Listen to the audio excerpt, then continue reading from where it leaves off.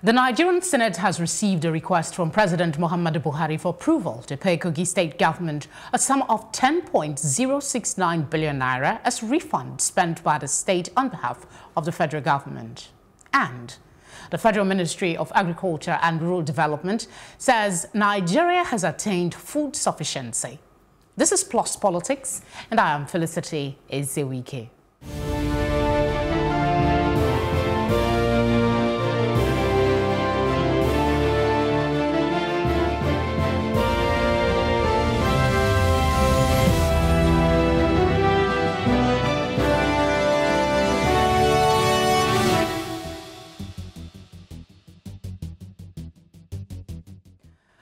Director, Projects Coordinating Unit at the Federal Ministry of Agriculture and Rural Development, Dr. Maimuna Habib, has said that Nigeria has attained food sufficiency. She stated that the country has added the value of its commodities from the north to the south. What is food sufficiency? What does it mean in this case, as there are still a lot of people without enough to eat? And also, in addition to sufficiency, is there food security? Joining me to talk about this are two uh, learned gentlemen. Evans Ufeli, legal practitioner, thank you for joining us. Thank you. Good evening. Good evening. And of course, we have Lolu Elegbe, political analyst. Pleasure to have your company evening. this evening. Good evening. Okay. Are we really? Do we have food sufficiency? Let, let's start from the basic food sufficiency and food security. What is there a difference? Yeah, I think there's a difference. Uh, food security will mean that um, you have been able to curtail all the hazards that would have led to a shortfall. For example, if you have a good pest control against uh, the weevils or the insects that eat crops, if you have the right kind of weather, you do not have drought, you do not have natural disaster, it can be said that the crops will grow and yield. And then along that line, there's food security.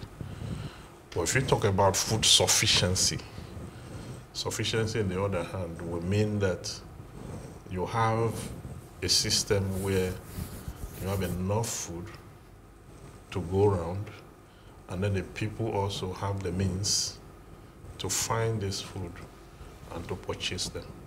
So when you're talking about sufficiency, it could be in the abundance of food or the right quantity of food in circulation. Okay. But the security of it will have to do with that you have been able to curtail all the hazards that could lead to a shortfall. Thank you for that clarification because a lot of persons might not actually know there is a distinction between the two terms. Oh, I'll start with you. The first question Are we food sufficient as a nation? Do you agree with that director?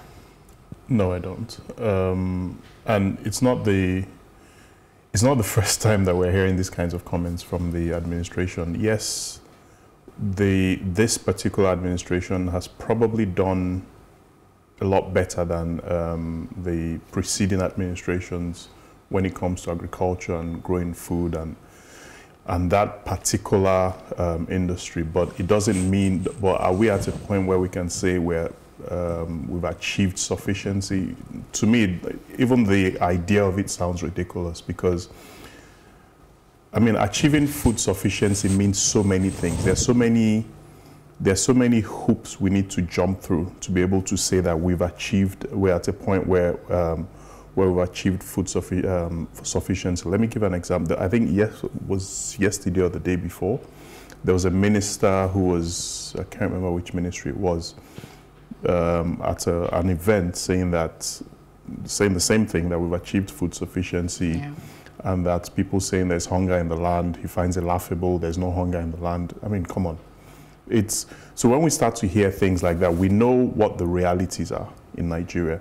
The idea, uh, when we talk about things like rice, things like sugar, and these sorts of things, yes, we have local manufacturing, and that's increasing, and which is a good thing. But what I've never really understood is why locally produced goods are in some cases more expensive than the imported ones. I agree completely 100% that if we're able to grow these things locally, we should. But it doesn't make any sense to me that, I mean, for, forget, let, let, let's just look at the financial element of it, right? I want to buy a 50 kg bag of sugar. I think the Dangote brand or one of those brands cost about 17, 18,000 naira. Now, the other brands that are brought in from outside the country cost about 13, 12,000 naira. So why on earth, as much as I want to, I want to um, use the made in Nigeria products, why on earth would I pay six, 7,000 naira more just because I want to do that? It doesn't make any sense to me. So when this, um, when this um, person says that we've achieved food sufficiency, the prices will soon drop, I can't wait to see that happen. When the prices do drop, then you can start to talk about the about people, a lot more people using or consuming these products. But right now, it's too expensive for a lot of people. So you can't say that you've achieved food sufficiency when a good portion of the population still cannot afford the locally made products, which she, for me is a, is a very she, strange She said dynamic. something about the fact that we don't know because we're, not, we're not blowing our own trumpet well enough. So Could that be what? a reason? Let, let me tell you that we're not that there is food sufficiency, but mm. a lot of people do not know because we are not blowing our own trumpet. so how does she know there's food sufficiency? Well, because she is in the know. ministry. I think she's looking at the issue one-sided, or he's looking at the issue one-sided. He or she is a she. Uh, looking at the issue one-sided. First of all, when you talk about food sufficiency, or item sufficiency, not just food. You have to look at costs, you have to look at price, you have to look at equilibrium. Those are economic tools, they are tools for economic analysis when you talk about uh, sufficiency. Now, if you look at uh, the rate of inflation and then the level of poverty, okay, uh, vis-a-vis -vis the claim, you find that, that it is not an item or food is not sufficient where the means to get the end yeah. is not equal. Okay, now you have um, like the ban, uh, the foreign rice and some other foreign items. They close the border rather. Uh, the locally produced rice, the costs have now increased so high. Now people are asking why. The reason is because demand have increased and the natural consequence of that is that um, price will rise. But what we're not getting right is that the means, okay, the, the, the take home pay, get the minimum wage of an average worker. And then the fact that even the minimum wage, bad enough, is not good enough. Other variables that are supposed to preserve the wages are not in place. There is no mortgage system. There is no public school, um, primary health care. These are variables. If you look at Abraham Maslow's theory of need, it talks about the hierarchies of need, where the physiological need is the first, what to wear, what to eat, shelter, and all that. So you're in a country where there's no mortgage system for, for shelter. You don't have food stamp for people who are indigent. Yeah, but, but in, in all of these analyses, then, okay? Yeah, no, what I'm saying is that you can't talk about sufficiency Without where there's a wide gap. Issue. Where there's a wide gap between the economic possibility. Okay, the level of poverty is high. Okay, and then you look at the number of people who are poor in Nigeria who cannot even access um, their daily bread. Vis-a-vis -vis the claim, you will find out that it, it is you are talking about sufficiency in a very narrow perspective.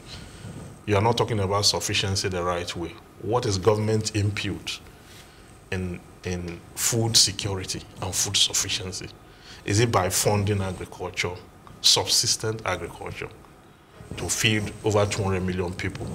So we're, we're, they, they, they, it, there is no proper research on that statement. Statement. But you would expect that somebody head. that is with the director at the Federal Ministry of Agriculture. They should show us the survey. Have, okay, uh, if, if, if you both seem to uh, hold the position that we do not have food sufficiency, as it stands right now. So where are we exactly? Are we going to get there? Is there an improvement rather from where we were before? Not just an ordinary um, um, improvement, but something upscale. Because even the, the issue of uh, food um, insufficiency or scarcity of food, this conversation started even before the advent of insurgency. And then the herdsmen came in. And then the banditry came in. And if you look at, like Benue State, for example, most of the villages are completely decimated. They can't go to their farms. Some of them are just recovering. Okay, we, when you check all that, okay. you cannot have all those kind of security conditions and make this kind of declaration without a survey, without a chart, without no evidence empirically to convince us. So you can't just make such. You see, in your in your in your in your evidence, assessment, where are we? If you do not agree and you say there are no data to show that there is food sufficiency as is being claimed by this government official, where are we? I think we're still in uh, scarcity and food insufficiency because if you if you we're not if, because maybe speaking from for the middle class or the bourgeois the upper class but I do not think he's speaking for the entire country. But these are government officials. This administration have consistently said they've been working in, in uh, rice, for instance, yeah. they've trumpeted how well they've been able to revitalize that industry and give farmers more hope on, you know, revenue mm -hmm. to do their job. So if we, if if she is saying there is food sufficiency to a large degree and the borders have been closed, she is claiming that this has compelled us to eat locally made. But that's, but that's not even, I mean, all you have to do is look at the, like I think, like he mentioned, these claims are being made from a very, very narrow perspective. The guy that spoke yesterday that said, um, similar to what she said, that we've achieved food sufficiency um, he laughs when people say there's hunger in the land. Yeah, and then he made another comment well. that um, farmers are making money, that he said he himself is a farmer, he, um, he knows how much he sold, maybe it was rice or something. But that's, that's, that's where the problem is. He's looking at it from that perspective. But if you spread this out, we, I think we, we, we, there's a danger in Nigeria, right, of, of looking at things from what is happening in Lagos, Abuja, and Port Harcourt those are not those three places are not representative of the rest of the country.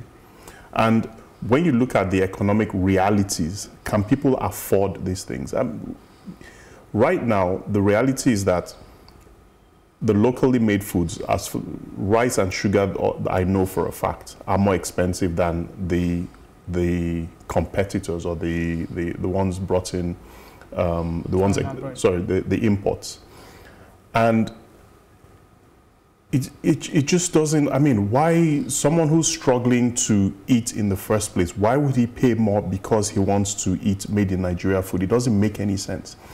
So when they start to make these kinds of comments about the sufficiency, um, farmers are making money. Okay, yes, farmers might be making money because of the government's sustained effort in rice production, for example.